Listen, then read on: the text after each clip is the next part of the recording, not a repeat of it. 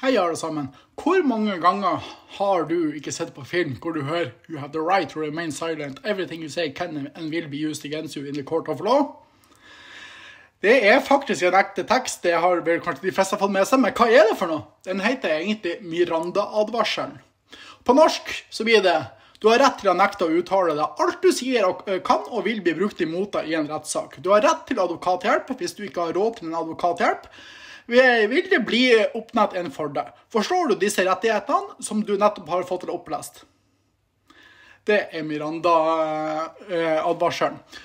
Og det som er litt av greia her, det er at det her Jeg tror ikke de nevner det når politiet faktisk skal ha tak i det. Eller for så vidt barnevernet. Men det, du har de samme rettighetene i Norge, og du har rett til å holde helt kjeft. Og, og ikke snakke med politiet med mindre om du faktisk er nødt. Og det er jo faktisk også noe som du bør faktisk ha i bakhuet òg. Barnevernet bruker dette her også. Og de bruker det der alt du sier og gjør, kan og vil bli brukt imot deg i en rettssak.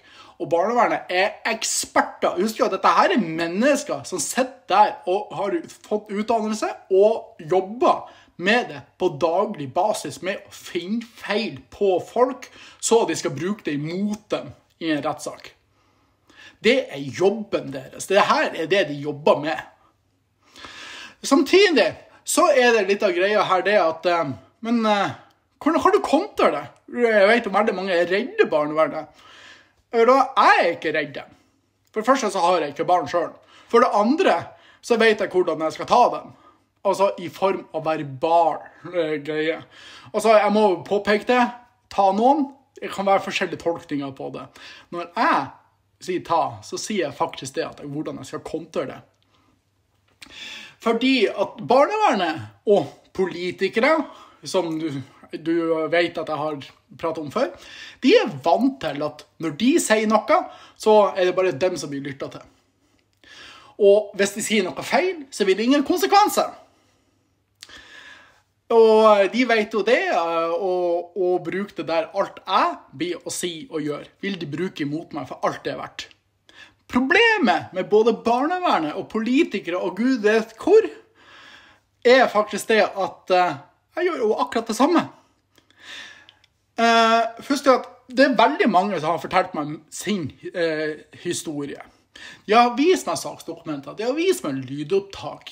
Og jeg har hørt så mange historier om hvordan barnevernet og offentlige myndigheter hvor slem de kan faktisk være. Samtidig så er mitt hoved, hovedtema narsissisme. Jeg har opplevd det sjøl. Du har jo også fortalt meg din historie en gang. Og da er det jo faktisk sånn det at jeg ser sammenhenger. Så da er det bare én måte, fordi at narsissister, skjønner dere, de forstår bare ett språk. Sitt eget. Så derfor så må jeg bare svare med det samme språket, svare med akkurat samme metodikk, akkurat samme knepene som både barnevernet og disse her skrullete folkene ellers faktisk angriper meg med. Jeg svarer tilbake. Problemet for dem det at de ikke er vant til at alt som de sier og gjør, kommer til å bli brukt eh, imot dem. Men ikke i retten, nødvendigvis. Men på sosiale medier. Sosiale medier er vår nye redskap. Det er veldig viktig å vite på og tenke hvordan du bruker det. Jeg liker at det skal holdes så innenfor lovverket som overhodet mulig. Så eh, når du ser når jeg går og prater om Fauske som jeg har gjort i over 80 videoer. Det som var litt artig, og det er jo noe av det som jeg har sittet og humra litt for meg sjøl og mine, da, det er det der at Fauske kommune og deres politikere de er en ganske liten kommune med ca. 9400 innbyggere. Det som er interessant her, det er at politikerne er ikke engang vant til å bli kritisert i media. For de er jo på lag med lokalaviser og Avisa Nordland og Saltenposten. Barnevernet er i hvert fall ikke i hvert fall ikke vant til å bli kritisert. Samtidig så er det verre på Fauske enn stort sett i andre byer. Husk at i Oslo, sånne enorme byer, etter mitt hode, så er det det at det er lettere å stikke seg bort. På Fauske, der kjenner alle alle.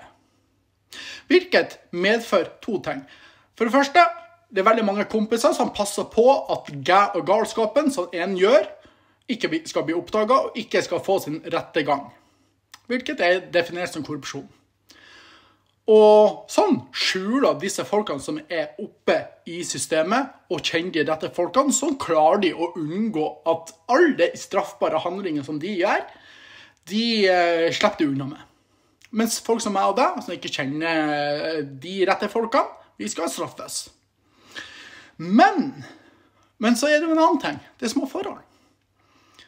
Det betyr at det er jævlig lett å finne informasjon om disse folkene. Samtidig så er det jo sånn det at eh, Og når man har funnet den og lagt ut på sosiale medier, så bruker jo man jo nettverket deres imot dem sjøl igjen. For nå får jo alle vet, alle blir å vite altså det her går som ild i tørt gress. På den måten så bruker jo jeg deres eget nettverk imot dem sjøl igjen. Og da begynner de Altså, når barnevernet begynner å klynke Jeg kaller det sutring og klynking. Når barnevernsansatte vi begynner å si at vi har det så trist, vi har det så jævlig og alt sånne her ting fordi at vi, blir hengte ut. Nei, dere blir kritisert. Og det jeg står og forteller om, er det dere gjør på jobb. Det har jeg fullt lov til. Fullstendig lov til. Og det er ingenting i denne verden dere kan gjøre med det. Dere prøvde dere på en anmeldelse, vet jeg.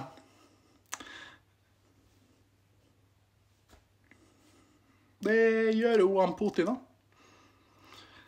Eh, så dere er jo en litt artig kommune her på Fauske. Problemet med dette her er jo at eh, for, de, for deres del så eh, kaller jeg det klynking og sutring og syting. Fordi at OK, hva er det de er redd for? De er redd for sin person og sin karriere og sånne, her ting. Ja, da vil jeg gjerne stille deg som sitter på og ser her, og kjenner denne her barnevernssjefen eller barnevernspedagogen. Hvor mange barn har ønska seg foreldrene sine igjen, og de har kaldblodig drept i det? Hvor mange klager har de fått på foreldre? Hvor mange liv har de maltraktert? Og helt kaldblodig har de bare ignorert det? Hvor mange ganger har de her løg i retten? Skjønner du? You catch my drift? De her er, viser jo tydelig da at de er mer har mer større tankegang på seg sjøl enn alle andre. Og jeg trodde dere satt der og skulle jobbe for barnets beste. Dere viser jo tydelig at dere er ikke egna. Så hva er det jeg gjør her? Jo, det er det samme greia. Alt barnevernet og deres ansatte og deres støttespillere sier og gjør, bruker også jeg imot dem. Og, og det her er ikke barnevernet vant til. Barnevernet er vant til at eh, folk skal redde dem. De spiller på frykten. Og de skal maltraktere, og de skal ha rett. Og jeg kunne gjerne ha stilt eh, dem et ganske enkelt spørsmål hvor som helst egentlig. Hva er viktigst for deg? Å ha rett eller at dere skal vinne den rettssaken med tanke på den statistikken dere skryter sånn av. Dere har På de fem siste årene her på Fauske så har dere hatt eh, medhold i alle saker fra nemnda til Høyesteretten eh, i fem år. Er dere, eh, hva er viktigst? Er den statistikken viktigst? Eller er faktisk det og sannheten skal komme frem? Dere skal konsentrere dere om det som er sant, og ikke noe mer. Det er vel å vinne det. Ego igjen. Viser jo igjen dere har ingenting i barnevernet å gjøre. Så dette her er jo ting som jeg finner veldig, veldig lett ut. Og selvfølgelig You have the right to remain silent. Everything you say can and will be used against you by me. Og tusen hjertelig takk for meg.